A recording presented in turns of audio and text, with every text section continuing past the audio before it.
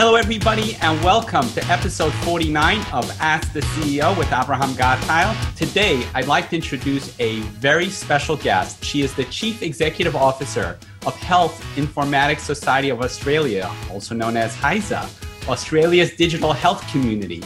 As a leader of Australia's peak body for digital health, she's a passionate advocate for the transformation of healthcare committed to the improvement of health outcomes enabled through innovative use of technology and information. She has a global reputation in health informatics and digital health and is shaping a new future for HISA.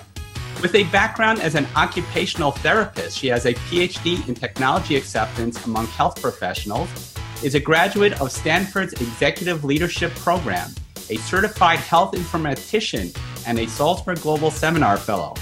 She has delivered over 100 conference presentations. She's written for academic and industry publications and textbooks, is the host of the Dissecting Digital Health podcast, and wonder upon wonder, she is still always available online. It is my honor and pleasure to welcome from the land down under the one and only Dr. Louise Schaper. Welcome. Hi, Abraham. That was um, a long intro. No, thank you very much for having me on the show. It's um, I might have delivered a lot of keynote presentations, but this is my first uh, like podcast interview, so um, wow. um, I'm looking forward to it. Well, then it is definitely an honor having you as the first. Cool. Well, thank you for asking. Yeah. So, whereabouts in Australia are you? So at the moment, I um, well, I'm broadcasting live from my office at HISA, which and we're in Melbourne, in um, Victoria, Australia, and it is just gone eight o'clock in the morning. Wow, that's fantastic! So here I am in New York, and it is six p.m. So we're in yesterday, you're in tomorrow, and we're time traveling all over the place. That's right. Yeah. Is there anything you want me to want me to tell you about the future? You can ask. That's okay. Absolutely. Just let me know what the lotto tickets are, and we'll split it. All right, great. Fantastic. So, um, Louise, thank you again for joining. I am so excited by HISA's accomplishments in the field of digital health. So, if we could just start and take a moment and just take us through a little bit about what HISA does and what do you do? Sure. Okay. So HISA, we are a non-profit member organisation. So basically, we um, exist for the purpose of our members, and anybody can join. And the people who do join are clinicians, researchers, uh, digital health executives, students, um, uh, vendors, people from software companies, hardware companies. It's a it's a really diverse church that comes into digital health, as I'm sure you find in America and other parts of the world as well. Um, and uh, the reason they join us is because we all are trying to improve healthcare, and how uh, we know that we can do that is through uh, better use of information and communication technologies uh, throughout the healthcare system. So, uh, so that's why people become uh, members of us. And what do I do? Um, yeah, that's probably that's interesting because it's certainly different to what I expected. I've, I've been CEO of HISA for almost eight years now. And uh, I must admit that when I took on the job, and I was really excited to um, be offered it, but in my head I was thinking, eh, two years, because you know I get bored easily. So I thought, I'll oh, give it two years, and then I'll get bored and I'll go do something else. And it's almost eight years later, and I am anything but bored.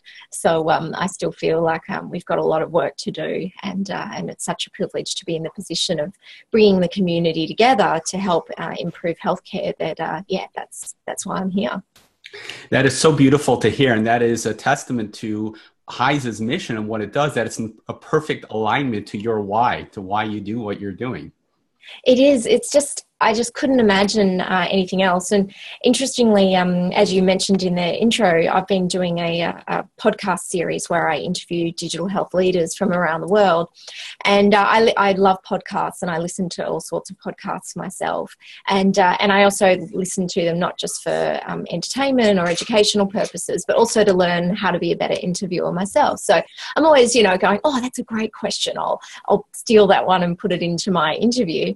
And, um, and one of of the ones that I thought was great was that I heard somebody else ask, um, and it was an entertainment podcast, uh, people in television And uh, she asked the presenters, oh, well, if you weren't, after they've covered all of the highlights of their career and how they got to where they are, she asked them, all right, well, if you weren't doing this, what would you, what else would you be doing? You know, and it's random stuff. Like it could be you want, always wanted to be a dancer or a florist or something like that.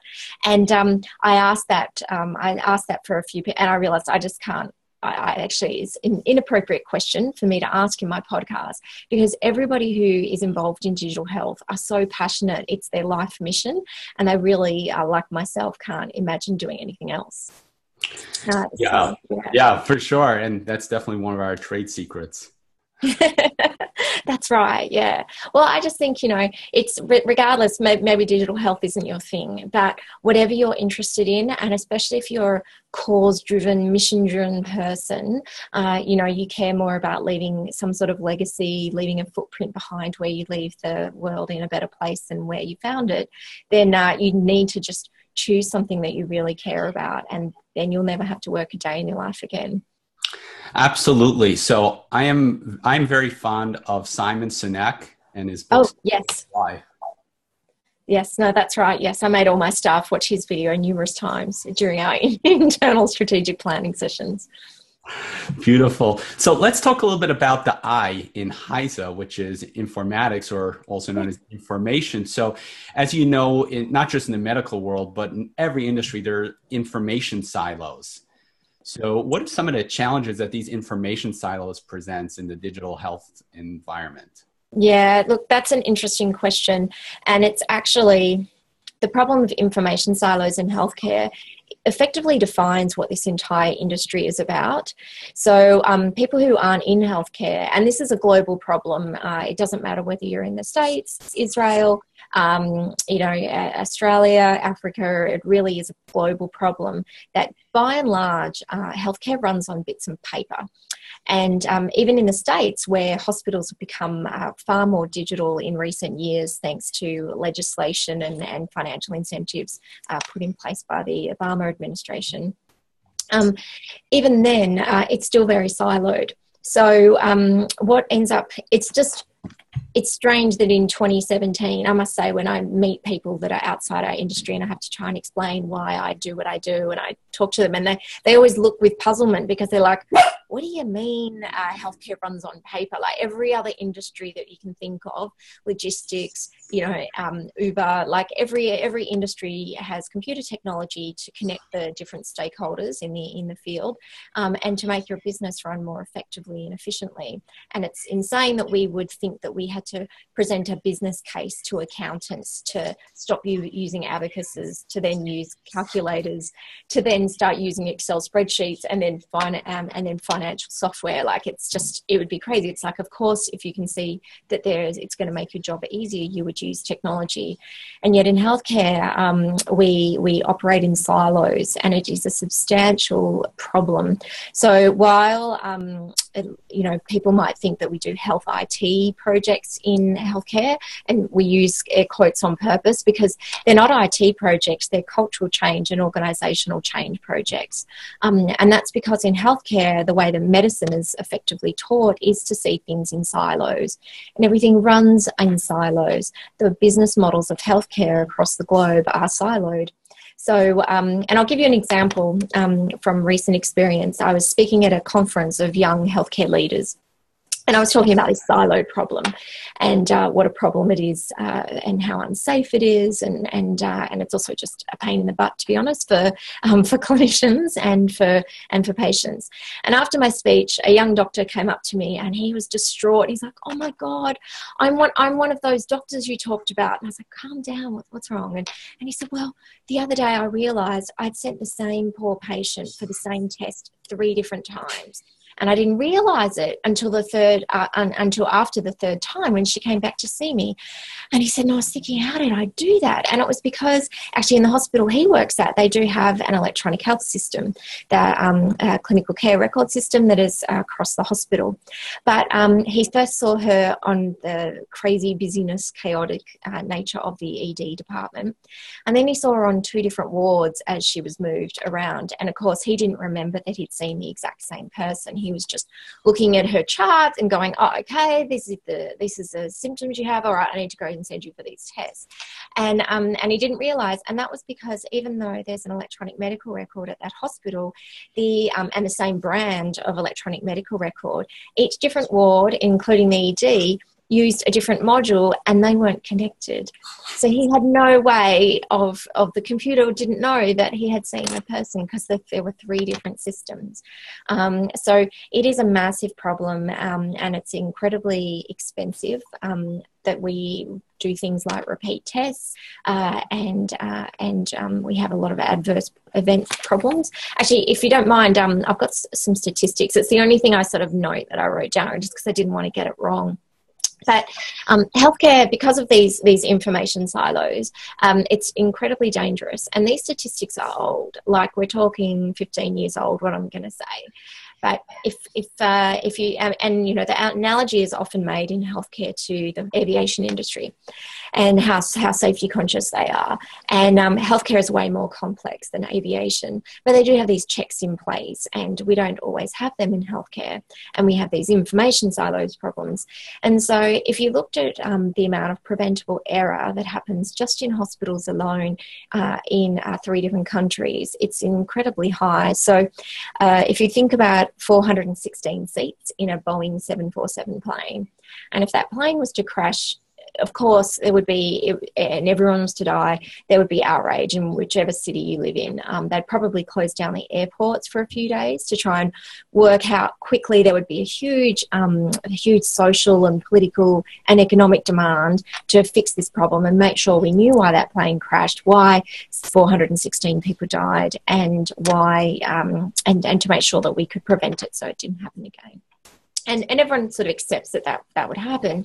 And yet in healthcare, um, in Australia, we're, we're a smaller country than the US, but we've got effectively about 14,000 people every year die in hospitals.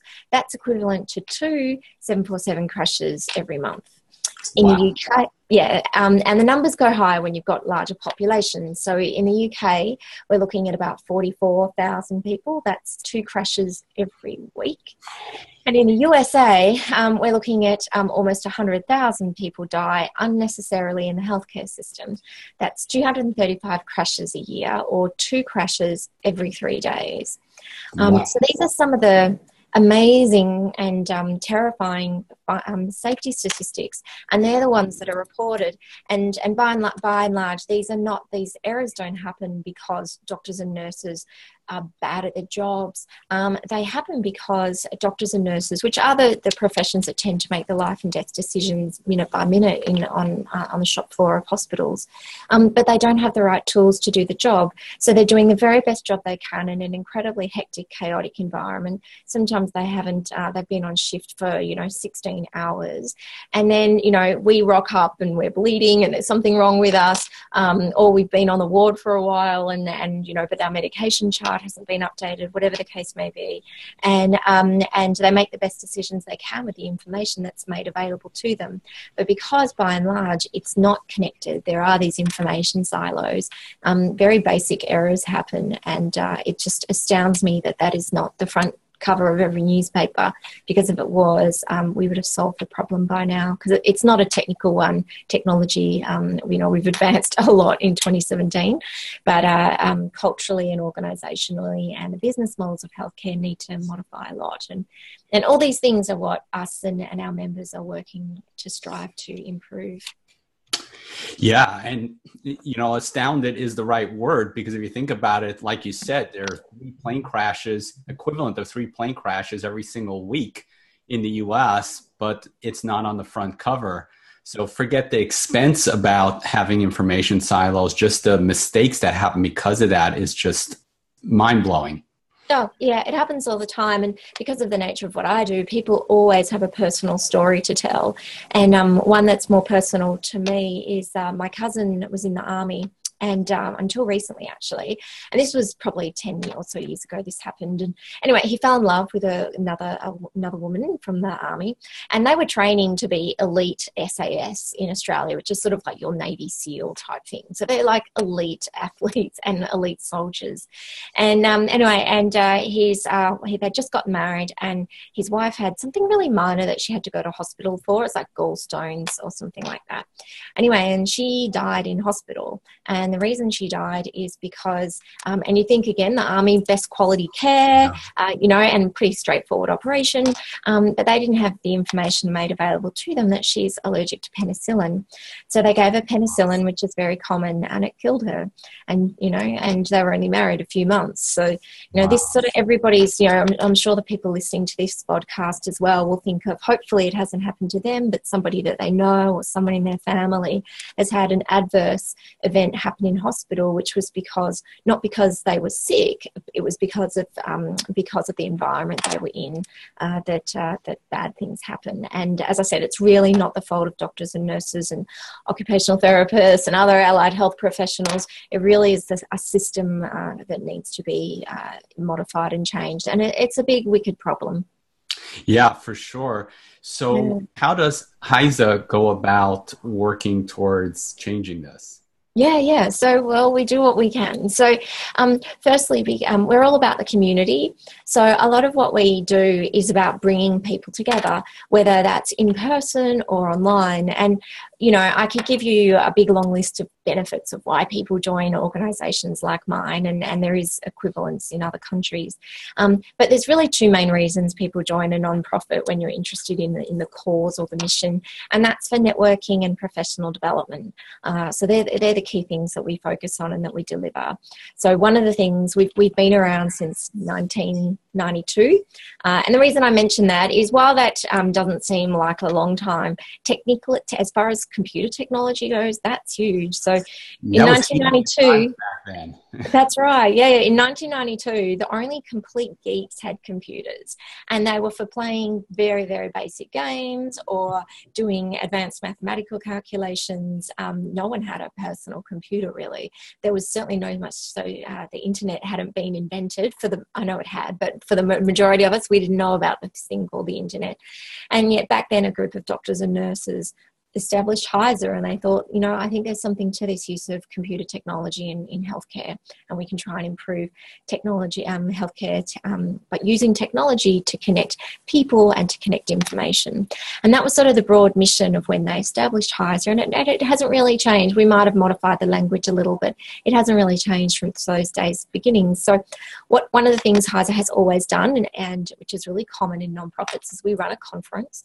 And so we now run four conferences conferences a year um, and uh, webinars and all sorts of events. I think we, at last count, we were running over 50 events a year. Wow. Um, uh, yes, which is great. And so those events work to impart knowledge to people. Um, for you, uh, with the knowledge that you have as well, to impart your knowledge and share it with others and to bring people together. Um, and so that's a key focus. And we actually just had our big national conference, which is called HIC, the Health Information Conference, uh, two, three weeks ago in Brisbane. Um, so we run these events and we bring people together and we share knowledge and professional development we also, um, one of the key focus areas for uh, not just my organisation, but for more organisations like ours uh, that are in the States and the UK and elsewhere, is workforce. So, still, it's, it's it does seem insane because it is, but in 2017, the majority of people who, claim, uh, who train at university or college uh, to become a healthcare professional don't learn about digital health. They don't learn about informatics. Um, they, if, at the very most, they they might learn about how to use a particular um, EMR system for a hospital, but they vary. They vary, um, and yet we expect them to hit the wards per, per se and actually understand how to use the technology that's presented to them. But most importantly, why um, and the why is never, you know, you mentioned Simon Sinek, the why of why we need to actually use technology in healthcare is, is not taught at uh, university or college level yet by and large. There are parts again, there are pockets and silos of really great stuff, but by and large, that doesn't happen. So, one of the things that we launched uh, back in 2013, it was, uh, we launched a certification program in health informatics. And what that means is that if you consider that you're an e health, digital health, health informatics expert, um, or you want to be one, you can um, take an exam, and if you pass the exam, you get to be certified in health informatics. Um, that program has been incredibly successful. We've had um, almost 300 people now are certified in health informatics. Most of them are, live in Australia, but we have international customers as well. And um, that workforce reform, that need for recognition of the knowledge that you have and how your knowledge in digital health and health informatics is different and unique and incredibly valuable to healthcare systems than other professions is something that we are also working on at an international level uh, because it's something that we we see workforce in I guess, two different factors. So we need the experts in health informatics, and um, often they are clinicians. Myself, I, I trained as an occupational therapist. They're not always clinicians, but I think think a third of our certified informatics professionals actually are clinically trained. So, um, um, so we do have a lot of clinicians who are also clinical informaticians. But then we need the majority of the workforce, which is we're talking hundreds of thousands um, of clinical care professionals who need to understand something about digital health or health informatics just to practice medicine in 2017.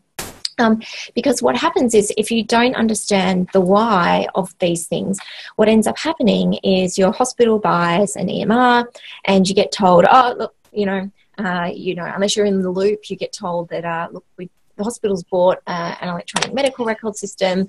Friday, you have to come to a training seminar for four hours, and we'll teach you how to use the system.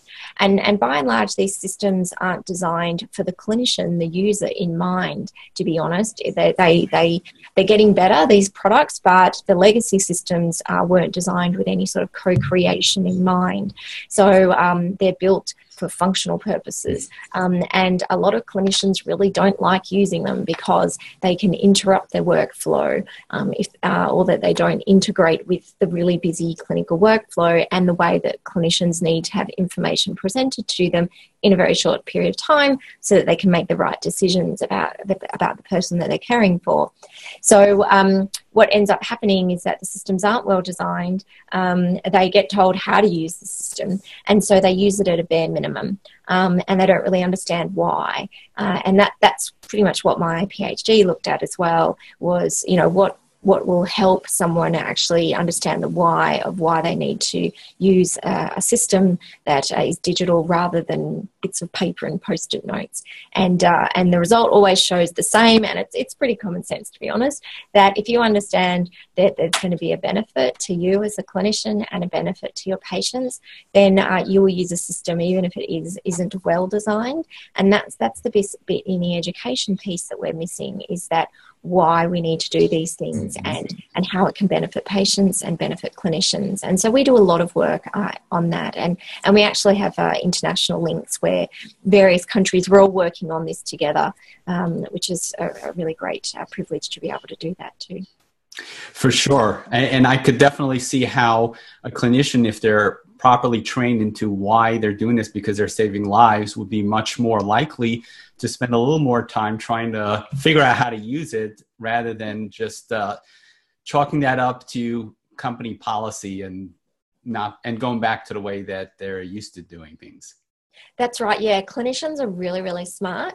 Um, so they're also excellent at workarounds. So um, I don't know if, if um, I haven't been into the US hospitals to see if this is the case, but I know if you go into Australian hospitals, you know, like just basic privacy security, having a, you know, um, proper passwords and and uh, proper ways of uh, authenticating yourself before you get access to records. And yet, the amount of times you'll see post-it notes yeah. um, with passwords uh, stuck on monitors, and that sort of thing. So we're moving away from that. But yeah, people will work out workarounds if it makes their job easier and if they get the benefit from doing that. Beautiful. So so Louise, I just wanted to spend a minute talking about IoT and how IoT technology can help with health informatics.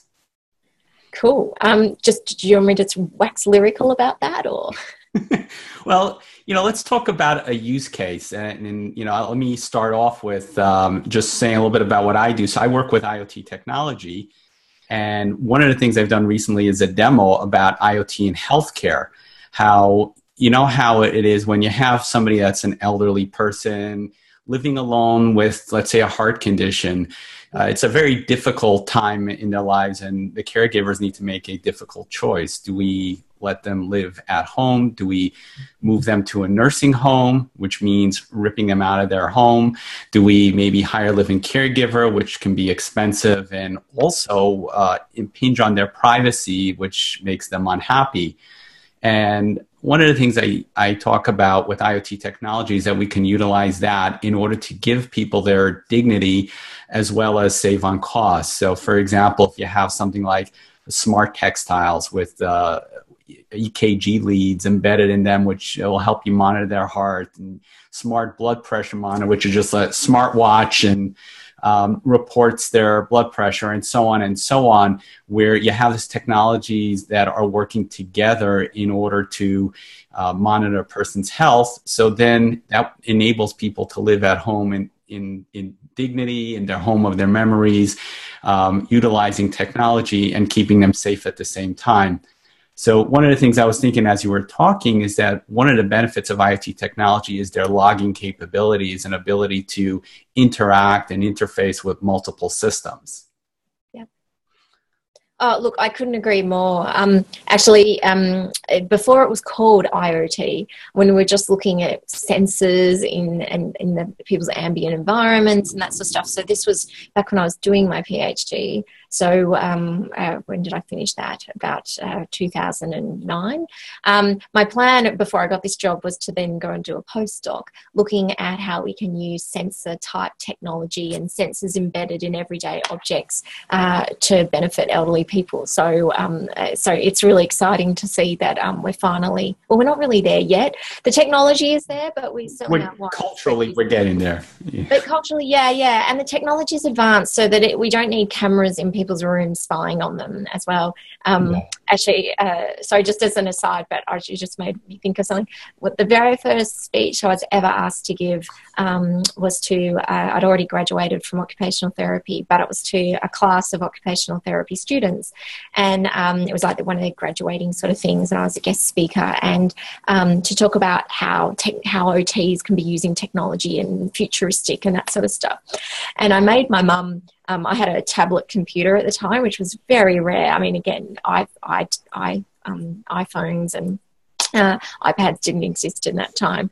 How far we've come. Anyway, and I but I had a tablet monitor, and um, and I made my mum sort of hold it up to the refrigerator as though it was like a smart fridge, and then I doc- I took a picture and I doctored the pictures so I could start talking about internet fridges and what an internet fridge could do. Um, so sorry, you just reminded me of uh, that, which I did for my very first talk. Um, but yeah, look, um, the technology has advanced a lot, and culturally we're getting used to it. Um, we're still got a few more advances in technology that need to be made um, before we can, before I think it'll really take off. Um, but I would certainly see that we, within the next five years, and um, this is not an original quote, I'm, I'm, not sure who said it actually, but um, I, I do believe that in the next five years, a majority of clinically valuable information won't be collected in clinical care settings. It'll be collected outside of them. Um, and that means um, you will collect it yourself uh, through sensors that you might wear, like saying the smartwatch, um, the smart fabric in your sock or, or other device, um, the sheets that you sleep in, um, your toilet, um, doors that open and close in your house, those types of things. So all of that um, data um, will be an incredibly rich source. And what I'm really interested in seeing, which is what you were, were talking about, Abraham, but is I actually think we can even use that technology to do uh, effectively like randomized clinical controlled trials. So you could actually even roll it out into retirement village type places where, you know, certain you match them up and then some people get this technology embedded and others don't um, for the period of a year and let's look at what come out of that because what i think is when we have these technologies in place and the smart socks is, is a really interesting example because a lot of people think if if they're not from sort of our world, they think, well, why the hell would you need smart socks? Like, what? That's just insane. And um, it tells you when it's time to wash them. That's right. Well, look, that would be helpful for teenage boys. I hadn't thought of a user case for that. That's good. But there, there's another use case, um, and and there is two. So elite athletes, um, you know, how much money gets poured into elite athletes, making them run milliseconds faster and improving their gait just slightly so that they can just scrape over the line. Lots of money is spent on that. So if we could have, if you had um, socks that had uh, smart sensors in them and could detect those changes in gait um, at a much more sophisticated level in real time, you know, uh, elite performance athletes and their coaches could use that. But in terms of um, elderly people as well, we know um, we know very well, um, and it's a huge problem that if you fall over, if you have a fall as an older person, um, you will um, most likely have a um, dramatically reduced quality of life, not just in the immediate aftermath of that fall, but potentially for the rest of your life, and you potentially a shorter lifespan as well. It's it's a big problem and the all the things the only thing that we do right now is you know we look at people's bone density we advise them to exercise and stay strong. Um, in their homes occupational therapist uh, type people will say things like we know remove trip hazards remove the rugs from the floors and all that sort of stuff. And you know hey that's better than nothing. But if um, if uh, if that person is able to wear socks that detects slight, slight, slight changes in gait, way before you as a, as an individual would recognise it, or someone watching would recognise it, um, and certainly not when you go for a checkup once a month. That's you know you need this real time data. Then um, if a computer can detect slight changes in gait, that could emphasise that actually maybe Mrs. Smith actually might be showing a little bit of weakness that has not been detected. Let's just get her in for some physio and podiatry and let's check things out. Then we could do some um, exercises, strengthen that. Then maybe we could actually prevent that, that potential fall from ever happening by using these types of devices. So that's, I mean, that's just one case, but I agree with you completely that um, this information, and there's going to be a lot of it, um, will be incredibly valuable. And we just have to be smart enough as humans, we pretty much are, but we have to be smart enough to harness that data um, for good uh, and and to use it for our benefit. Beautiful. So, Louise, this is really fascinating stuff that you're involved with, and I'm really excited to see where this takes you. So, tell me, how did you get started with this? Oh, cool. All right. Well, how did I get started? So, um, I, as I said, I trained as an occupational therapist. And in Australia, at least, I'm not sure um, in other countries, but they send you out for what we call prac, which is sort of like embedded work experience. And you do it from first semester, year one, when you don't know anything. You're a complete neophyte. Anyway, and um, my, one of my very first prac experiences was in a hospital, and it was in, um, in a, a, a, effectively like a a day a day facility for um, elderly people who would come in um, sometimes for respite for um, the person who was caring for them at home, and a lot of them had chronic comorbidities. So they had very thick paper files, you know, sort of inch thick, and and so they after being there for a couple of weeks they were um, my clinician asked me to if i would do an, an, an, interview with this patient. And i was so nervous and um, so but you know wanted to be you know keep up my a grade student status. So such a nerd. So i asked if i could come in early and review her file and i wanted to just commit as much of it to memory as i could so that i could not ask her dumb questions and questions she'd already been asked a million times before. And um, and to engage with her so the therapist said yes i got in early and after i don't know maybe 20 minutes i um, i was really distraught looking at this file and i came out of the room and, and said said to my therapist, look, oh, mate, oh. and you know, I'm catastrophizing and I'm, I'm thinking, oh, I'm going to be a really bad OT because I don't understand what I'm reading.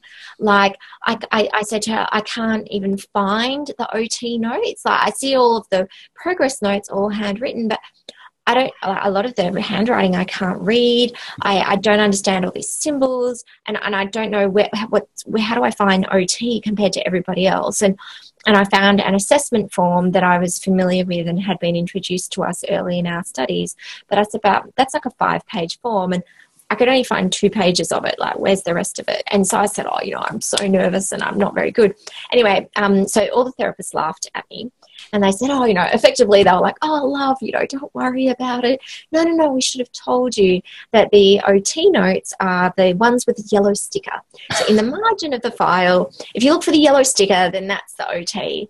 And, um, you know, and it occurred to me even back then, first semester, first year of a four year degree in occupational therapy, that you have to be a pretty bad occupational therapist to kill people. Like you sort of would have to go out of your way, right? So, but not the case for doctors and nurses that really do make these life and death decisions. And the more placements I had, and I was just, I was actually quite astounded. And to be honest, I still am. I think it's unethical that um, we have such poor record keeping um, by and large in healthcare that we, it prevents us from being the very best clinicians we can be. It prevents us from providing the very best care that we can can provide. Um, we do our best, but you know these systems are just shockingly poor, and um, and so that's how I got interested in um, in trying to fix this problem. Um, but I didn't know you could do that for a job. I was just really interested in that, and so you know I, I finished my OT degree, and I was planning on becoming an occupational therapist, of course, and uh, I was offered a I think because I was just such a nerd and I was hanging out at the university all the time. Um, someone had rented some office space off uh, off the occupational therapy therapy school to do, um, they were employed to do research on uh, what was at the time a telehealth trial rollout statewide in Western Australia, where I'm from, which is a really big state and uh, and they wanted a research assistant. So I was offered the job. So I took that, thinking, okay, well, I'll do that for three months because I love technology and healthcare, and uh, and then I'll go be a real OT. And uh, to this day, I've never received a paycheck as an occupational therapist um, because that job led to uh, one thing to another. Uh, before you know it, I was uh, doing consulting in this space and um, and doing a PhD in this space. Um, and um, look, one other thing I'll just add to the journey that because um, I think it's it's it's true it happened to me, but it's something that I try and foster now that I am the CEO of HISA. Is um, I didn't even know about health informatics. It was literally when I was researching for my PhD, typing in all sorts of search terms like you know computers and nurses because there was never anything about computers and OTs. So um, you know, and I came across this term called informatics, and uh, in in America they tend to call it medical informatics or biomedical informatics. In Australia, we tend to use health informatics. Um, it doesn't really matter; it's the same thing, but it's tend to be. And the Australian healthcare system is tends to be we like to think we're more focused on health and wellness and keeping people um, not sick um, than, uh, than um, pure medical focus. So that's the difference in terminology if anyone was interested. Um, if not, I'm so, sorry for taking up 15 seconds of your life that you'll never get back. Um, but anyway, so, um, so, the, so I discovered this thing called informatics and I was just, I, I read about it and I was so excited and I was like, oh my God, it's not just me. Like, there's a tribe there's, there's people that i belong to and they're interested in what i'm interested in and oh my god and it was just this wealth of knowledge and learning that i could soak up. So um, I, I, joined the american medical informatics association that day um, because you could join online. HISA at that time wasn't as sophisticated. We had a website but you had to email them to get sent a membership form. So i did that.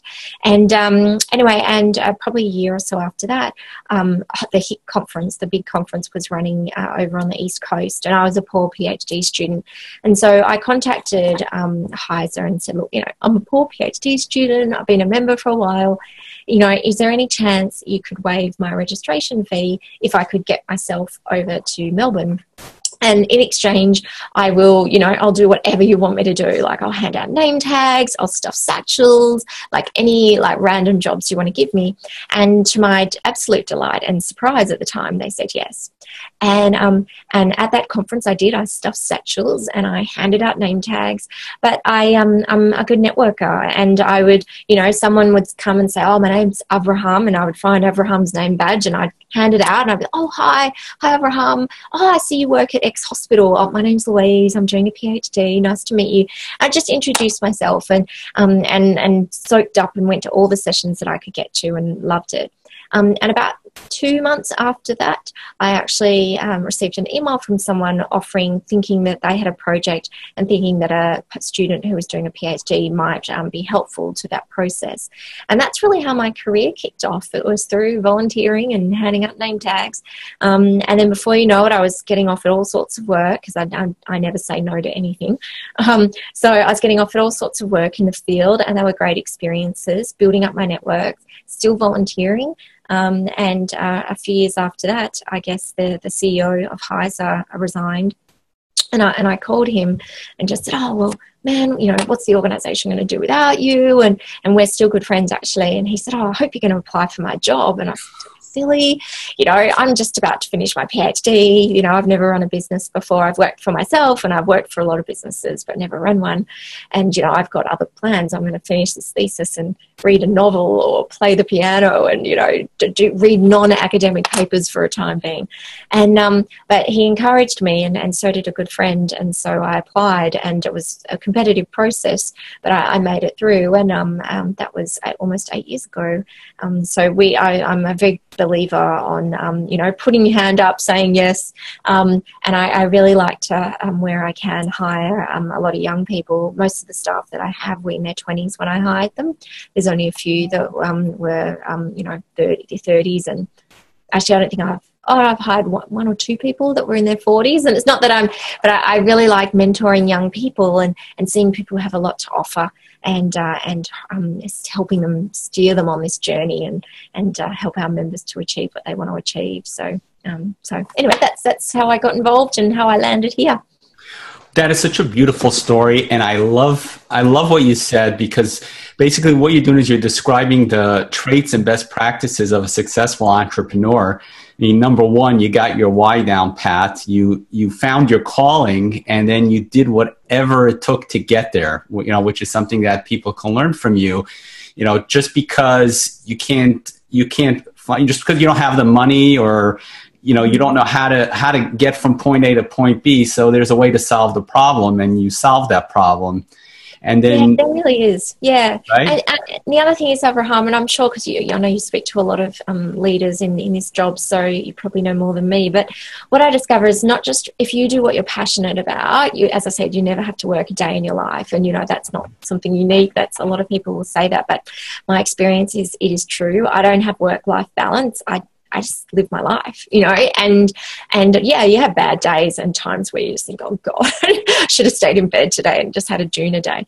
But you know, by and large, those days are incredibly rare, and um, and I never once, um, you know, regret any decision I made to get here, and every day is fantastic. But the other thing that I find is when you do what you love, other people are attracted to that passion and energy that you have. Um, and then also, um, when they see how passionate you are about whatever it might be, um, your area of interest, people want to help you with that.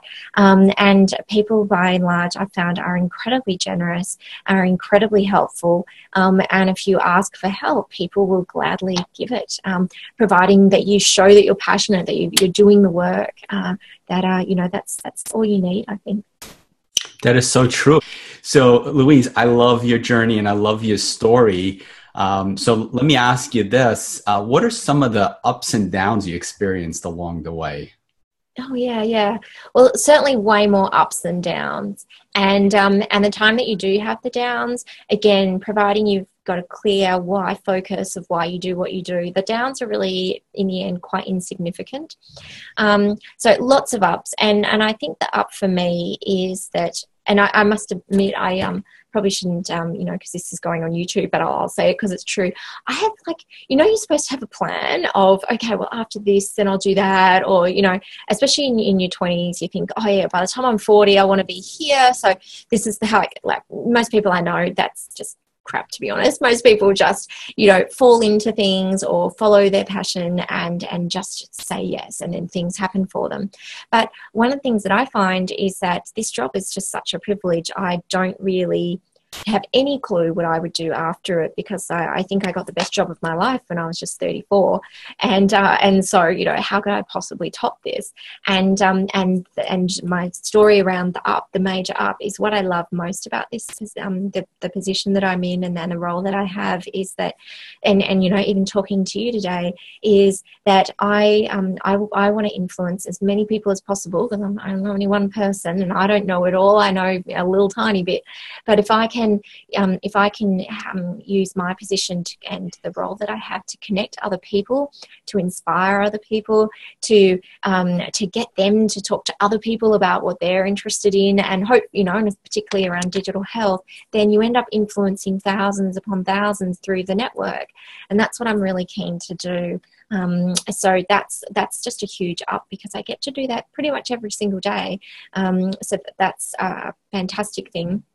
Um, I guess there's a um, there's a recent up, and uh, that is that we um, I just came back from China last week, uh, where we I attended the MedInfo Congress, and MedInfo is the International Biomedical and Health Informatics Congress, and it used to happen every three years, and now it happens every two years, and it's a uh, like like the Olympics and the, so- the world soccer and everything. And although it's not as glamorous as those things, and our budget's a little bit smaller, but you know we travel around the world, and and member countries decide where they will hold the next one. So I bid, um, I presented Australia's bid to host that congress in Sydney in 2021, and I had some excellent competition, and honestly did not think that we would win. I thought, well, this is sort of our practice run, and then in two years' time I'll come back and present again. Um, but uh, people decided to vote for Sydney, Australia. So um, I'm so excited about that because in four years we get to host the International Digital Health and Medical Health Informatics Community in Sydney, and um, that'll probably have a couple thousand people. And we also get to show off, which I'm also looking forward to because I want to show off the brilliant people that we have here in Australia, and uh, and uh, you know bring the world here and uh, and bring us to the world. So that's one of the recent highs that um, I'm really really pleased completely yeah, thrilled. Really nice. Yeah. Congratulations. Thank you. Thanks. Yeah. So that, that's really cool. Um, some of the downsides. Um, okay, so there's probably two main things. One thing which I was really unprepared for, and when I, I speak to CEOs of nonprofits, I, I've found that it's it's the same. Um, we're not unique. Is that it's like you're in permanent startup mode. So while that can be exciting and invigorating, and you, you need like constant energy um, all the time, um, it's also tiring um, because unlike a, a startup, we don't have a product where we can promote to VCs and get financial capital come into the business so I can hire the people I need to deliver on the vision. Every single thing that we produce, we have to create ourselves from scratch. Um, we have an excellent community of volunteers. Like uh, we have over 300 people who actively volunteer their time, and you know we couldn't do anything without them. Um, but if we had some um, external funding, it would mean that I could hire the people that I need to get the jobs done. So instead of a project taking maybe three years to get off the ground, um, huge. Like I work an 80 hour week um, still after all this time, and um, you know, and we have to rely on volunteers a lot. And because you're working with volunteers, obviously the time spans have to change because you, you can't tell a volunteer, well, it has to be done by Monday, too bad. Like you're just so grateful that they're giving over their time and expertise. So it's like whatever time frame you can work, I'd really appreciate it. Um, and they're just wonderful. Um, but uh, not having the resources that we need to deliver on the vision is, is, is tough. And if I didn't care so much and believe so much, it would it'd be easier to walk away um, because it's it's really hard work. It's really hard work. So.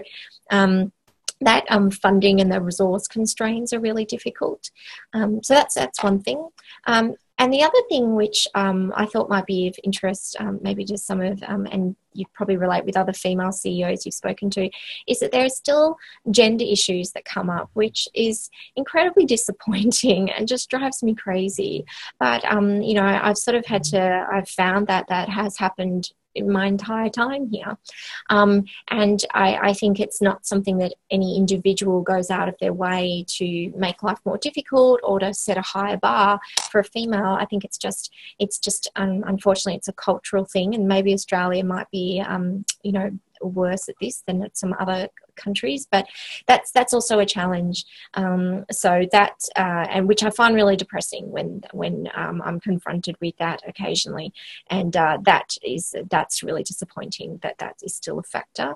But you know, all you can do is just rise above it and work really hard, and uh, and uh, you know, really good people don't gender isn't an issue, but it's it's still often subtly there, and and that can be difficult. Yeah, for sure. And in fact, I've interviewed many female CEOs who've cited the same challenge Absolutely, yeah. And in healthcare technology, I would have thought there would be even more women because, um, you know, a lot of clinical care professionals are females.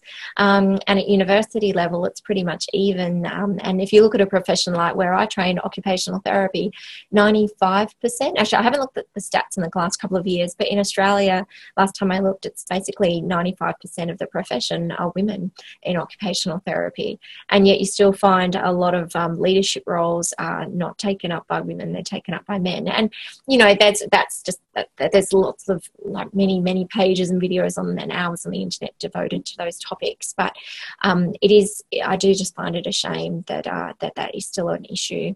Um, I have, um, we have a, I actually, and yet to be honest, because I run a non-profit, women are really attracted to work in non-profits.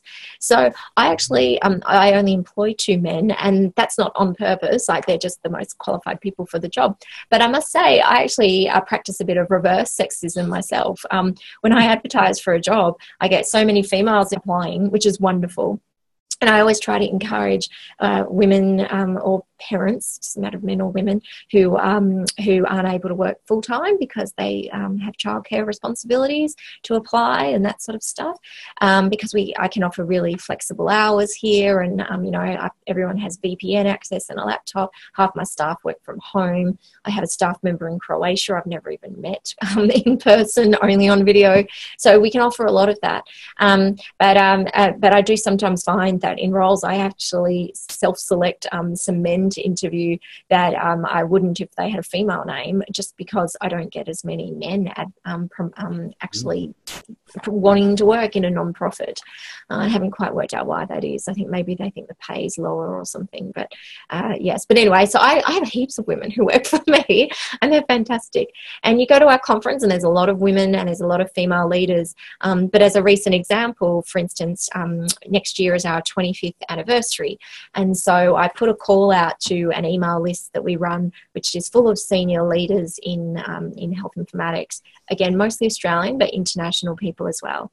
I just said to them, look, if I could invite one or two like giants in the world of health informatics from across the globe uh, for next year's birthday and to talk about you know how far our profession has come and all that sort of stuff you know any anyone you could recommend and you know uh, no bar is too high like we'll try and get them and um, i've had I reckon maybe 20, 25 names, no women not a single one was, uh, you know, and it wasn't until I spoke to two people when I saw them in person and mentioned that. And I said, Did you see that email I sent? And I said, like, there's some, and there are, they're wonderful, fantastic men in our field. And, and some of the leaders in our field when it was established were men. Um, so it, it makes sense that people would gravitate to that. But I couldn't, I was surprised that in a list of 200 that, um, and uh, that, you know, roughly 200 people and 20, 25 responses that um, I didn't get a single, uh, not a single female. And it was when I asked those two people and I said, and I mentioned this, they were like, oh, wow, what about, you know, and then they emailed me and gave me some female names, but they, they're not the ones who come front of mind. So, you know, that's a, a recent example of that. So there's still work to be done.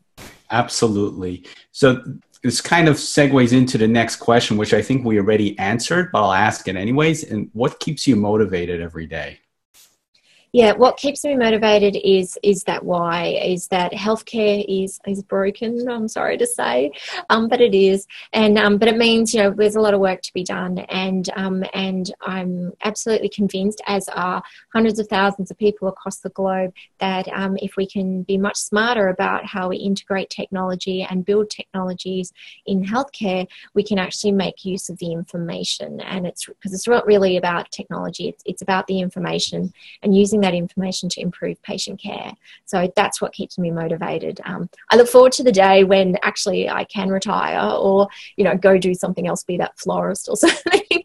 um, because it's like, well, we fixed that, you know, healthcare is all connected, the silos are gone, um, you know, people no longer um, experience adverse consequences in healthcare because clinicians don't have the information they need to make the right decisions.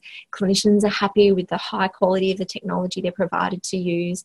Um, I look forward to that day, and um, I'm not going to quit till we have it. Great, and then you could sit on your rocking chair and knit or go fishing. Yeah, yeah, I'll think of something to do, I guess. Beautiful. Uh, we kind of discussed this as well, um, but I'll, I'll ask. So, where do you see yourself in, let's say, five years from now? Yeah, and it is a really interesting question. Um, one of the things I've learned about myself, and Australians are really um, we're really more modest. We're not great at selling ourselves. And I say that because Americans are awesome at it. Like Americans just generally speaking are so good at that and, and we're not very good at it. Um, and so, but one of the things that I've, I had to get at peace with is like I, have got a girlfriend who does excellent work in her field. Um, she is not on social media at all. Nobody knows her name. She is um, she's not even on LinkedIn. Like you really can't find her. And um, and she wants to. She's very happy being that backroom scenes person who's doing excellent work and making the world a better place and helping other people. But she doesn't need any of it attributed to her. She doesn't want it to be attributed to her. Um, and I'm quite different. And and I, I do want to be front and center like I am now, and and hopefully still will be in five years' time, um, and for the rest of my career. But it's it's not because it's about me. It's because I actually find, um, and I had to sort of work this out for myself as well. Um, and and I thought, well, actually, one of the un- unique skills and the gifts that I have is being able to inspire other people and and uh, you know and motivate them. And so I'm best placed, um, you know, on a stage uh, in front of a group of people, leading a group of people. Um, I'm also really happy to be a follower as well. Um, it's not a competitive thing, but you know, to, to get people moving and to because we, we, if we're going to improve healthcare, it's a, it's a huge movement and we need lots of people involved to do it. So um, I don't know where I'll be working. Um, it'll actually, if um, because we've won this Congress in four years' time, um, I probably will still be here. Um, so, but wherever I'd be, I know I'll be still advocating for improved healthcare uh, and, and, empowering clinicians and empowering patients through uh, access to information. So I'll be doing something that fits that bill. Beautiful. And if there was anything that you could change, if you could rewind the clock, let's say 12 months, would you be doing anything differently? The only, I have thought about this before because I'm not really big on regrets.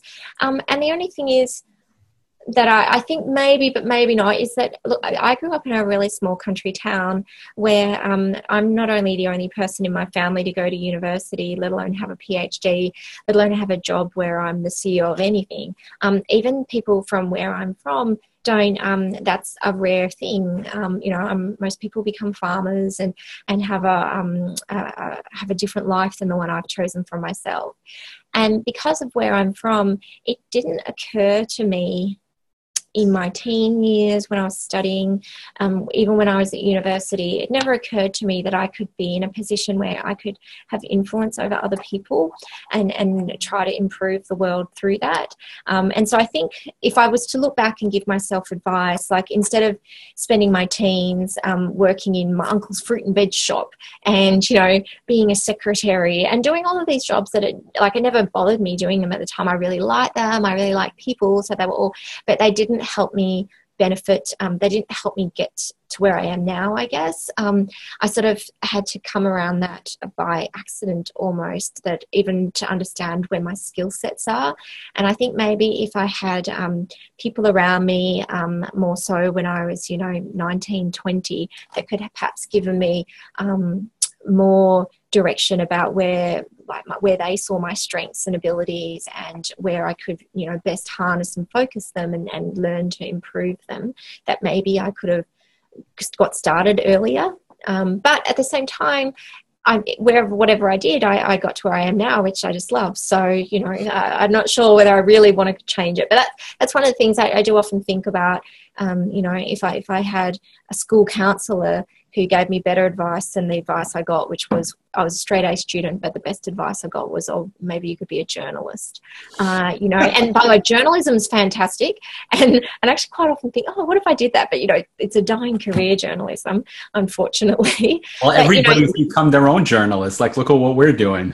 That's right. Yeah, yeah. It's a, it's a really tough gig. And actually, I, I believe in journalism so much. I, am actually a paid subscriber to publications that um, do do investigative and, and, deep dive journalism. But that's that's one of the things I because I, I, didn't get any of that advice. I didn't get it from school counsellors.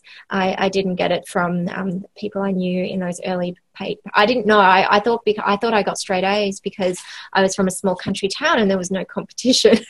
you know, I didn't realize that um, maybe even if I was a small fish in a bigger pond, that I would still do okay. Um, and so sometimes I think maybe things would have turned out faster. I don't think they would have turned out different, but maybe I would have got there faster. I don't know, but we'll never know that. But exactly, that's the beauty of life. Yeah, that's right. Absolutely.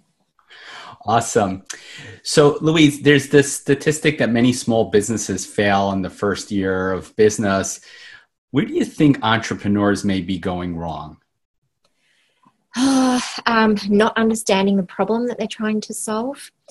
So, um, and you know, because the great entrepreneurs um, are, are, are, great leaders, and and they identify a problem. Um, they don't necessarily have to own the problem, but they identify it. They apprentice the problem, and they really understand it, and they understand what they can do that's different and unique to help resolve that problem, um, and build a great group of people who are far smarter and cleverer than you are. You know, that's that's what makes success in any business.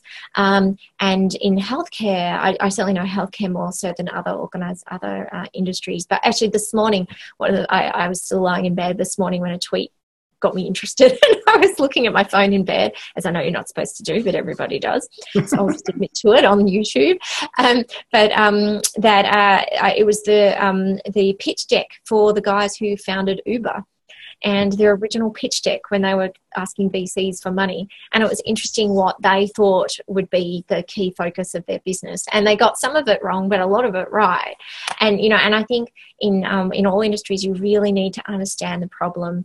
Uh, and if you're in an industry such, which is as complex with as many wicked problems and chaotic problems as well as healthcare, you really do need to understand it um, so that you so that the solution that you're providing actually deals with this, um, not just a symptom but actually deals with the core of the problem. And um, that is where not only do entrepreneurs get wrong but a lot of uh, venture capitalists in health also sorry my my dog in the office. See i have flexible ruby. Someone just waved um, through her and so at her so she's now i have to try and quieten her up I've got the toy to corner. Ruby, come here. Come I was hoping she would be quiet.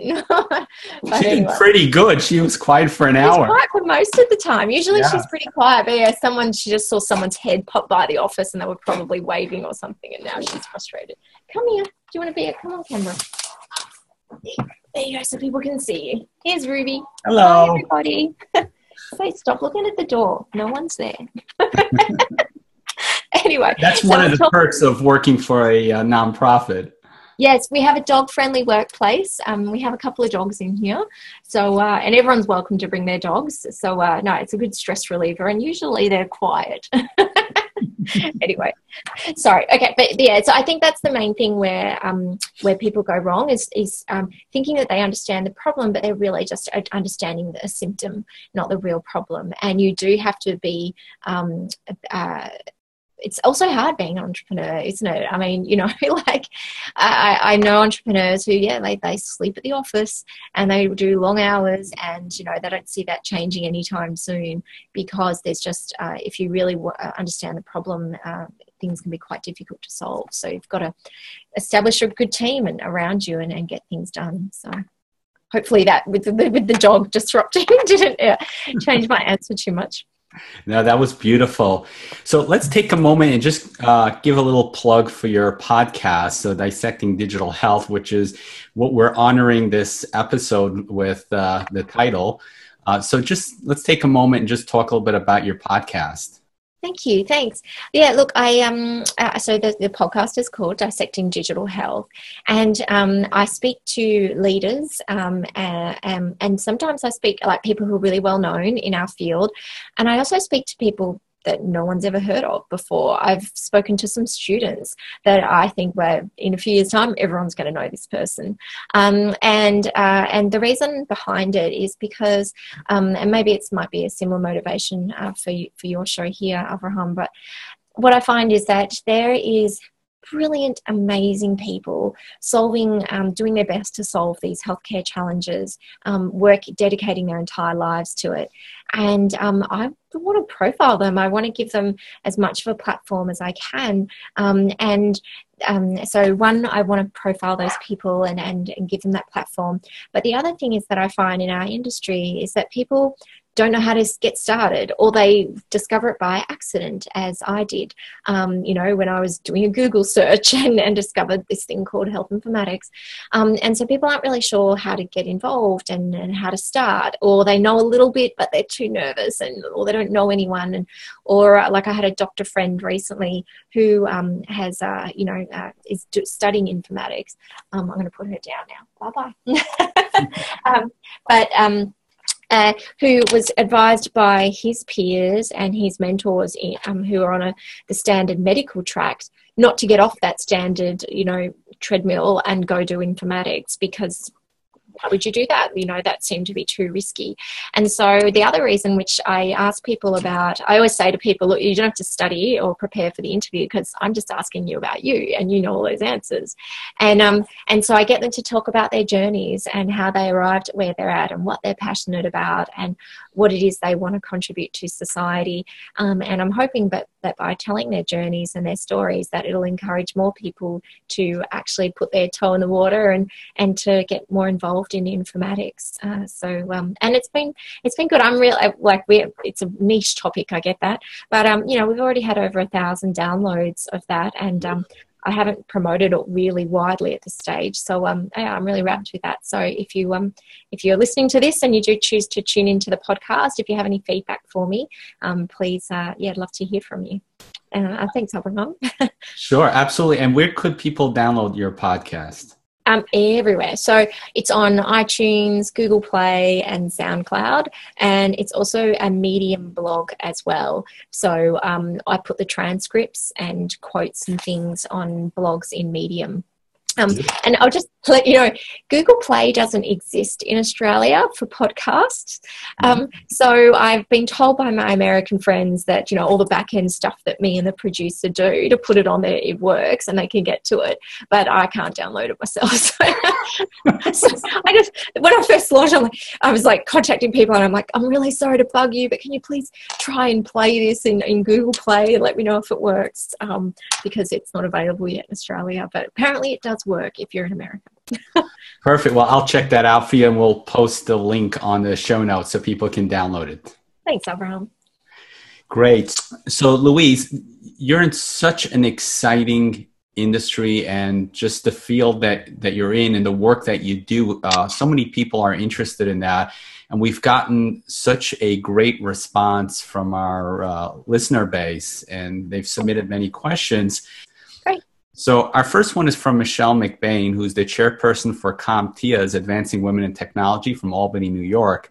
And Michelle says, I would love to know your perspective on how to encourage other young women and girls to pursue careers in technology, medicine as a whole. And what was your biggest challenge and how did you overcome it? Okay. Um, well, thanks for the question, Michelle. Um, and I think all I know about how to encourage other people in the field is actually by being passionate about it and showing them what you can achieve. Um, and I find women love challenging roles and and really want to be able to. Someone's still I was my stuff. No, knew that I was doing this. Sorry, and then bugging the dog. sorry. Anyway, um, so I think um, that just by being present, and um, I try and do everything I can to make sure that women are very present in whatever we do. So that we make sure that our conferences uh, have um, as close to equal as we can gender representation. Sometimes there's even more women than men as I said, my organisation is pretty much run by women. Um, so I, I, think by offering an example to women is something that is I actually feel it's a, a, moral imperative that I have, and and hopefully Michelle that that's something obviously that I, I will look up your organisation. It sounds really interesting. Um, so I think just by offering that, that letting them know that there are opportunities, um, and in terms of the the challenges, and I already mentioned in this interview that the gender challenges that are there. I think as long as we're that we support each other is the best thing that we can do. So um, I have um, a lot of mentors, males and females, uh, and I take it upon myself to also be a mentor as well, so that uh, um, so that other people, when they encounter these challenges, they've got someone that they can ring and, and have a chat to. So I like being able to. I've the few people that I mentor. I just uh, if I see their, their, if I can't answer their phone uh, their phone call because I'm in a meeting or something, I just they know to text me and I will call them the moment I get a chance because sometimes they just might have a problem that's just cropped up right now today, and uh, they just want to talk it through with someone, and, and I try and do that. So um, I think if we can do that. Um, to um, encourage more women to have to know that you don't have to know the answers. That's also good. Beautiful. Our, our next question is from Jamie Kataya, who's the CEO of tech and telecom PR firm Jamie Scott and Associates from Los Angeles, California. So Jamie asks, what is the one suggestion you can make to telecom networks to help us deliver better service to healthcare providers? Ah, that's an excellent question. Um, the the better service is um, from a technical standpoint like things like reliability are a really big deal and i know that sounds really boring but if um, you know, like if uh, if if my internet went down right now, it'd be a bummer, and you know, Abraham and I would have to resume these questions at another time, and he'd have to splice them together. But you know, at the end of the day, no big deal. If um if technology, if telecommunication, if we have telecommunication problems in healthcare, people can actually die as a result of that. Um, so that having um, high reliability in the services that you provide is really important. Um, but outside of the non-boring technical stuff. Um, the other thing I would say is it's about relationship building in healthcare. And I know that's a central tenet of all business that, you know, if you want to make a sale, get to know your customer. But in healthcare, it is so critical. Um, and it's something that we see a lot in American companies actually that come to Australia. And, um, and they come to Australia looking to expand their market over here. And um, they'll work with us and they'll give a presentation and we'll get people in the room. And their slide deck will be full of American Americanisms. They'll only have American examples and they'll just want to say, oh, we invented blah technology or this is what we're selling and it's awesome and you're going to love it too. And um, clinicians will, their eyes will glaze. Doesn't matter if, if you're right and your technology is the best thing ever their eyes will glaze over and in their mind you're dead to them um, because you haven't bothered to learn about them and and the challenges that they have um, you've already come in with a solution in mind and that's it's a really different mindset when actually your business is in I sell a technology solution. But in healthcare, the better way to do it is to form relationships, get to understand, um, apprentice the problem of what's happening in healthcare, and then don't tell us about the technology or the product solution that you have. Tell us about someone you helped. Tell us about that um, other healthcare client that you've had um, and what their problem was, how you went about helping them to solve that problem, um, what challenges, like be real, we know these things aren't easy. What challenges did you face along the way? What was difficult? What was harder than you expected? What did you learn from that?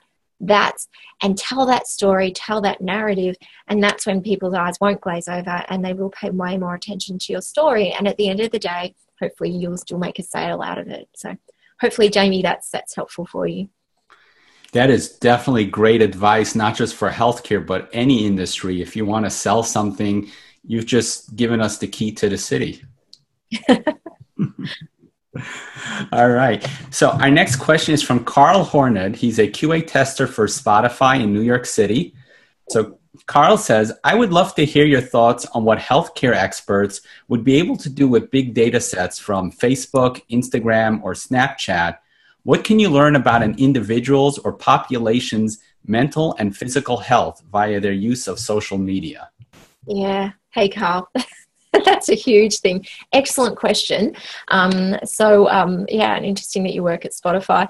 Um, there, okay you can learn a lot. Um, I was just actually at some presentations uh, with some colleagues of mine where they've actually done analysis on um, just what people tweet out as as their uh, and what you can learn from what people put on Twitter uh, about their own uh, health and well-being.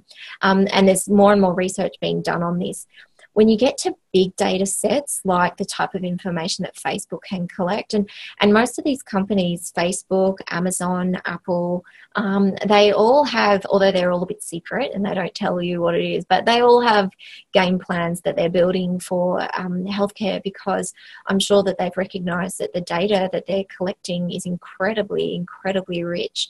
And healthcare has a lot of problems that need to be solved, and us as individuals um, have, uh, you know, there's epidemiological public health benefits as well uh, that we can use this data for.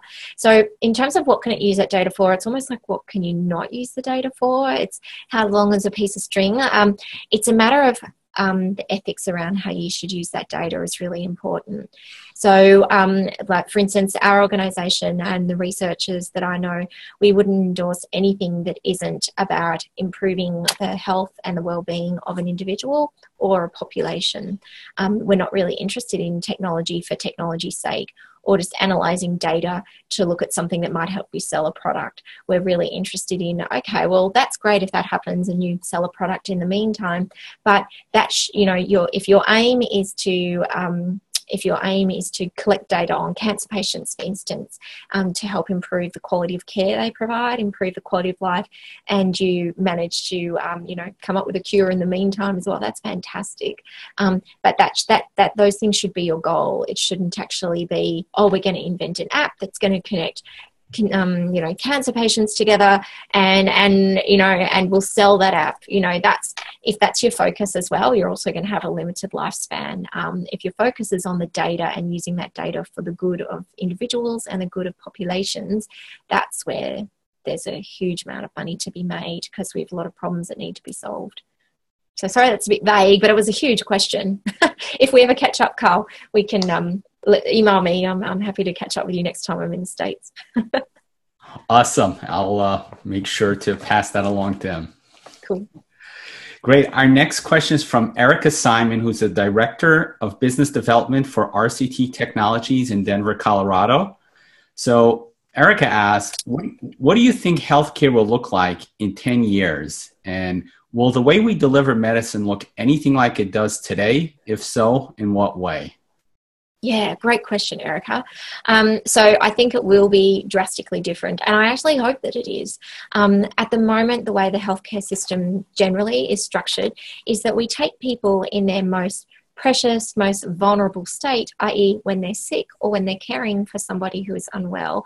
And we require them to leave the comfort and um, of their own home, and we require them to, you know, head to Mecca. You know, we we make them go to, we make them leave their own environment and go visit a general practitioner or you know um, a physician. We make them go to a hospital, and we put them in um, environments that are um, that are not well suited to maintaining their health, health and well-being.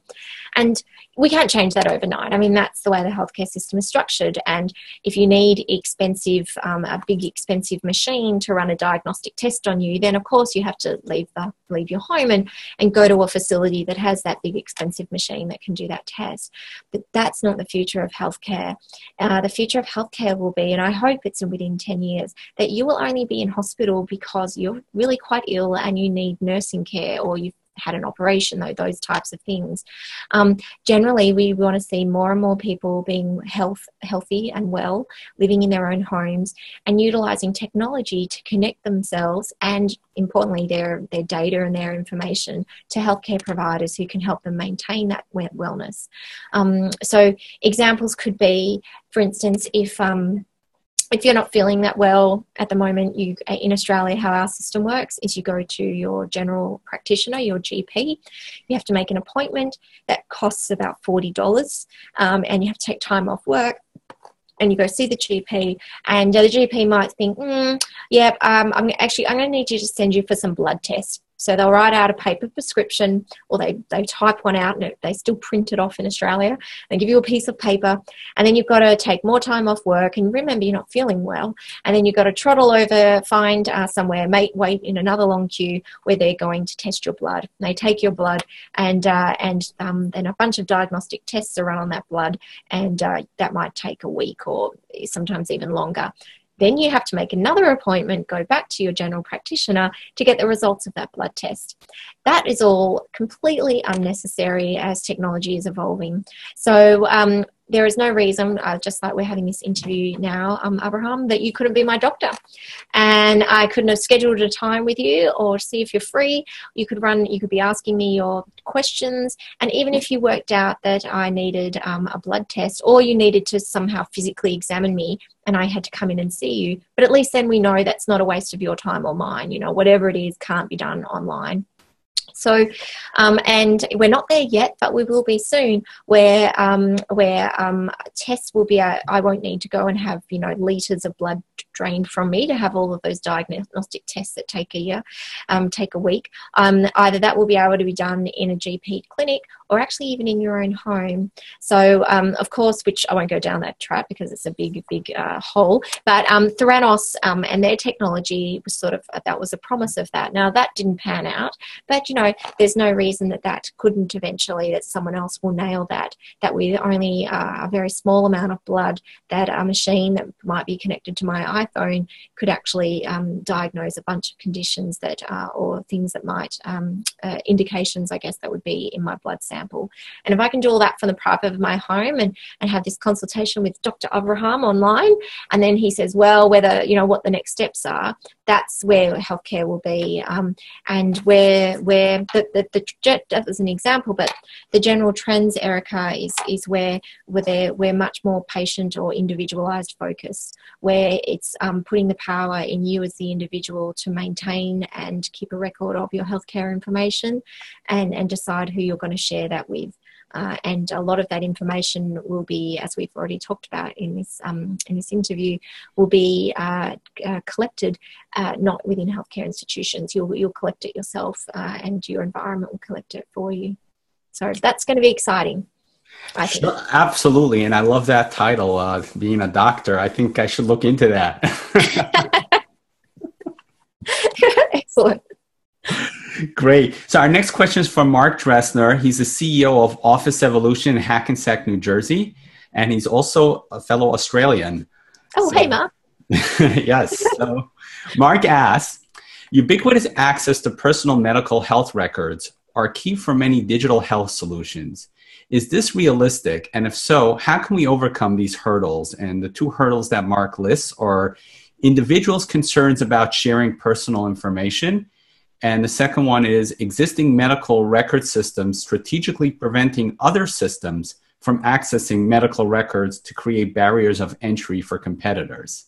Yeah, yeah. So Mark clearly work is not new to this field. Um, a lot of entrepreneurs don't know that, and when they discover that, they're surprised and they go to their business model. Um, okay, first one: um, privacy and and security. Um, look, we can. Um, it, it's it would be completely false to assume that um, when we store information digitally and when we make that information available, even securely online, that it is a foolproof system and no one can ever get access to it.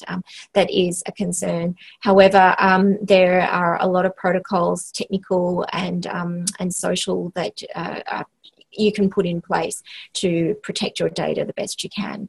And I think what's really important, and, and certainly the way that we're heading in Australia with um, our government uh, medical record system called My Health Record, is that the data is controlled by you, the individual. You own your own data and you decide who has access to it. Um, and you can also withdraw that access at some stage. If you have a falling out with your physiotherapist and you don't want them to see your medical records anymore, yeah, you can block them from seeing that. Um, Um, if you're in an emergency situation, there can be a break glass situation where the the people that are um, you know you're unconscious and you get rushed to hospital that they can that they can actually get access to that key information. And while those security um, protocols need to be in place, it isn't a foolproof system. So it is a risk. But if you look at the statistics of um, which we've already covered on safe um, safety and uh, things that actually happen because we don't have these informations um, in the hands of doctors and nurses when they need it. I think the benefit is far weighed into making your information available electronically and for you to control it yourself. That's really key. So you control who accesses it for you to provide clinical care to yourself. Um, you should be able to control it who has access to your data for research purposes um, and all sorts of things. Um, so hopefully that sort of answers that question um, a little, Mark. Um, in terms of the other thing, um, and I'll, I'll, just it's say a little bit. Sorry, my answers are a little long, um, but um, th- that yes, the traditional legacy systems that are throughout healthcare are um, are systems where they are um, they're built to basically be um, to be standalone or you know closed systems. There are no open API infa- interfaces uh, in these traditional systems. It's all about um, oh well, if your hospital wants a pharmacy system as well as something on the ED or in ICU, then you can also buy that from my company, and we'll connect it all for you. Um, no, no, you can't go and buy X competitor product because they it, the information won't be able to integrate with the information in the system that you've already purchased for your ED department, and that has been this traditional traditional business model um, of uh, software vendors in, in uh, healthcare. And look, let's face it, that business model isn't going away anytime soon, mm, but it is it is changing. So organisations, some of those organisations are starting to realise that their um, biggest opportunity, not just their biggest threat, but their biggest opportunity comes from entrepreneurial startup space where people have some fantastic ideas for technology. They understand the problem. They've been working with clinicians to understand it. Um, and, you know, you can make money doing that. So some of them are now moving to have, uh, to looking at developing open API interfaces so that the technologies can, um, can talk to each other effectively. Um, the one thing, Mark, that we don't have, which I, I'm on this soapbox all the time. No one ever wants to listen to me, so maybe you guys will. Um, that governments, um, and in Australia, uh, you know, we have uh, less concern about government interference than you do in America. But all they need to do is regulate that. In Australia, for instance, our healthcare system is majority public owned. So all government would need to do here is to say in our procurement guidelines is that um, is that if your product, if you want us to be able to purchase your product or to consider it as a a, as an option, it needs to abide by these standards of interoperability and importantly semantic interoperability. Um, and so if your product actually is a closed system and doesn't allow any data in or out, um, or sorry, out um, or to connect to others, then I'm sorry, you just, you know, that's cool, you can do that, but um, we can't purchase your system. And so if governments were to make that quite small regulatory change, then massive amounts of change would happen. Then all of a sudden there would be business case for these legacy people to open up their systems and make that data more um, and to think more creatively than perhaps they have in the past of how these um, sharing data and opening up those data can actually be um, a, an opportunity for them, uh, not necessarily a threat. Um, but until that day happens, yes, if, if you're an entrepreneur and you're listening and it's all about, and I hear this a lot, that, oh, well, it's going to be great because you know, blah, blah, blah. All right, where are you going to get the data from? Oh, it's in the GP systems or it's in the hospital systems. We'll just get it from there. Yeah, no, do your research because most of those systems are not going to let you, even if they wanted to, um, they're not going to make it physically possible for you to get access to that information. So, um, yeah, back to the business, back to the drawing board if that's your business model. Great. Isn't that funny how people vote with their wallets? And if you find a way to integrate quote unquote legislation with capitalism, you'll get a lot further. Yep, that's what happens. awesome. So, our next question is from Bill Corley. He's a technical engineer in the telecom industry in Piscataway, New Jersey. So, Bill asks, how is the new technology affecting the way medical information is shared around the world? Um, thanks, Bill, and sort of hinted to that already. Um, so medical information by and large is not shared around the world. Um, um, as I said, I've already talked about how um, these systems are usually closed that are collecting information. Um, it also happens to be the case in research. So, what was really interesting is actually in one of my interviews for Dissecting Digital Health, I spoke to a young radiologist who's doing a PhD and in the field of artificial intelligence and machine learning. And he spoke a lot about his profession of medicine. He's used to you know, people keep their research data to themselves because the research community is set up to be really competitive. Um, and, you know, you don't necessarily even talk to the guy down the hall because you might be competing for the same grant.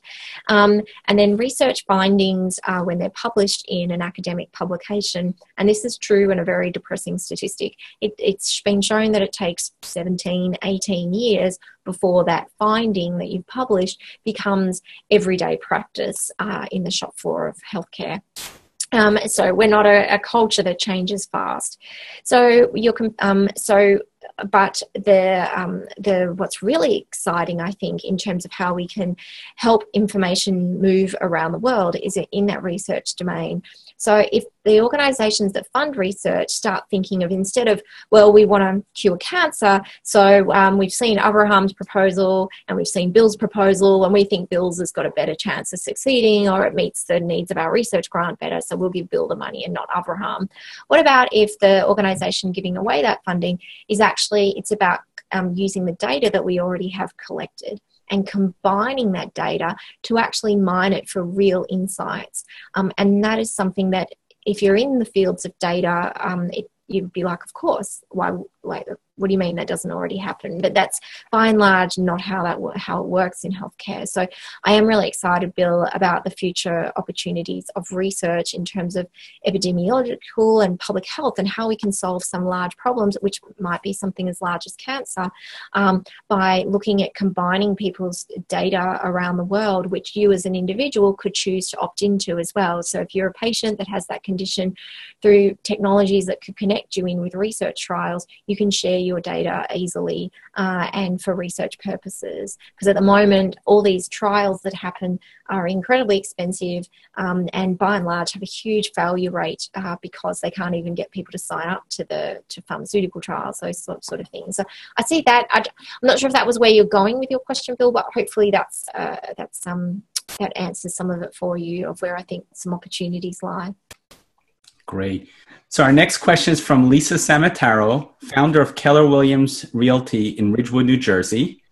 Lisa says, I see the tremendous value in collecting health data from both an, and let's see if I can pronounce this, epidemiological and individual standpoint.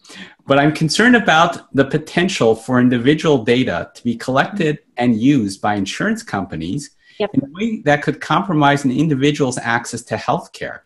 Can you address privacy issues surrounding the collection of health data? Yeah, thanks, Lisa. Excellent question. And it's something that, um, again, needs to be properly regulated.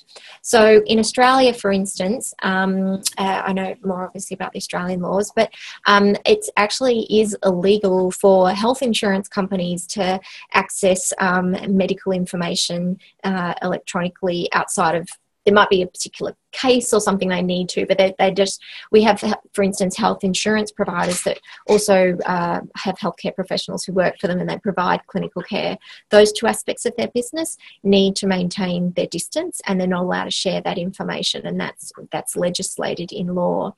Um, for instance, um, but one thing that isn't is um, if I was to uh, go get my genome tested for 23andMe, um, that um, my health insurance company has no right to even even know that I've had that done, let alone to know what it says, and that's legislated. However, life insurance, uh, these guys must have had better lobbyists working for them. Life insurers are. So, um, so I'm obligated, if I have life insurance, to tell my life insurance company that I've had um, my genome tested and, and to tell them what the results of that are um, which is why I do not have life insurance. Um, so, um, but that that that is a problem, um, and the only way you can't, it, while people who might be listening might be a bit opposed to regulation, and I, I get that because regulation can um, pose unnecessary hindrances to business. But when we're talking about people's health and medical information and how that can be used for good, um, how it can be used for evil and to hurt people, we need regulation. If we think that the that health insurance companies are going to regulate themselves and just say no, no, we really won't use it um, um, for any purposes except for yeah, that you can't do that. So, uh, so it is a concern, um, and it's something that um, that we do need to be mindful of um, for sure. Great. Our next question is from Paula Steen of Rockland County, New York. So Paula says, looking at the data about the super elderly, those people living to be 100 years old and beyond, yeah. what interesting data have you seen about them, and what advice can you give us? if we would like to join that group while still having all our faculties. yeah, um, yeah, of course. Well, we all want that, don't we? Um, yeah, look, I, I think um, as healthy living, uh, you know, I mean, you, you've got to have good genes. I mean, look, for instance, um, my dad has smoked every day since he was seven years old. He is now in his 70s and he quit smoking a couple of years ago, um, but his weight has ballooned out as a result of that. Um, but, you know, in, in, on every health indicator, my dad um, should have cancer um, and he should be um, not with us anymore. He has not lived a healthy life. He has been really tough on his body. He was a shearer, which means you bend over, bend over for um, you know eight hours a day shearing really heavy sheep that weigh minimum 50 kilos. So you know so that's he, he's had a tough a, a, tough life and yet he's still here. And why is he still here? Um, because he's got some really excellent genes that i hope he's really passed on to me and my sisters. Um, because so there, there is that genetic factor that you know nature versus nurture. And unfortunately we've, we've got the cards that we were dealt with on, on that regard. Um, unless the crispr technology which we're thinking that we can change people's genomic structure. So CRISPR is something to look out for if you don't have some, if you've got some genes in there that you wish you didn't have. Um, but the other thing is, I just think, um, I really do think, and especially you're talking about like engaging your mind as well. And I, I really think it comes back to enjoying what it is you do. Like it doesn't matter if it's fishing, if it's digital health, if it's, you know, whatever really floats your boat and gets you interested that's you just keep to keep doing that um, because that gives you a reason to live and a reason to wake up every day, um, even when it gets hard. And I think that the people who, are, live successful lives as elderly people aren't the ones who retire having a really fantastic career and whatever it is they're interested in, and then they just sit around and watch television all day you know like that that doesn't work it, it's the people who are active and, and enjoying life and and you know and for those of us who are who's unfortunately are going to find their lives coming to an end sooner than we would have liked you don't ever want to regret a single day do you? You just want to live every single day like it is your last. And I know that sounds ridiculously cheesy, but like it, it's true. And if, and if you speak to people who've had, you know, uh, cancer survivors and that sort of stuff, that's they often are quite appreciative of, of that near death experience that they've had because it makes them appreciate every single day that they have and the simple joys that come from every day. So uh, that's what I think, uh, you know, a good secret is, and it's a good way for us all to live our lives as much as we can. For sure. So, Louise, I know you're a busy gal and we're going to let you go. Uh, Thank you so much. I, I God, we've ch- chatted for ages. I don't know if anyone's still with us after all this time. Maybe people are going to watch it in installments. But it's been such a pleasure, and thank you for the invitation. It's been great um, chatting to you today, Abraham, and thanks for the excellent questions. Everyone who wrote in, really appreciate that. Absolutely. How would people connect with you, by the way? Yeah, so it, well, I'm online all the time, as Abraham said in my introduction. So I'm on Twitter, Louise underscore Schaper, um, and um, my email address is is also easily able to be found, and it's CEO at HISA H I S A dot org dot au. Um, if you don't get a response from me on the very day that you email me, I, um, I think I have something like 50,000 unread emails in my inbox. But I do really try to connect with people as much as I can. So um, please, please reach out to me and um, or come to one of the events that I'll be speaking at. Beautiful. And we're definitely going to check that out, and I'll put all that in the show notes. Cool. So, Louise, do you have any parting words of wisdom you'd like to share with the audience? Ah, hopefully my last one was a good one. But um, look, I just hope that all of you have, um, are having a really wonderful day and that you continue to. And I hope you've enjoyed this podcast and, um, and that you keep listening to all the words of wisdom that you're going to hear from um, Abraham's other CEOs that, uh, that he talks to throughout the series. So thank you. Thank you so much, Elise. Thank you so much for sharing your time and your wisdom. I really appreciated having you. All right. Thank you so much. We'll see you. Hopefully, we'll meet again one day in person. That'll be great. Absolutely. Take care. See everybody. Bye.